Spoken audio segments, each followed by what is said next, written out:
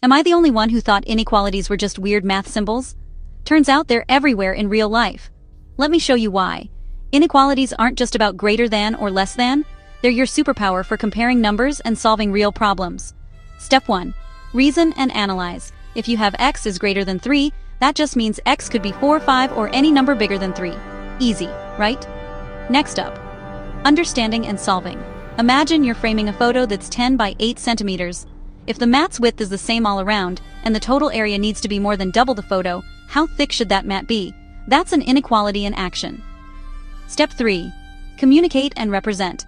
When you write something like 2x plus 3 is less than 10, you're speaking the language of math. That's called an inequality sentence. Last step, connect and reflect. Suppose you want your storage shed's area to more than double.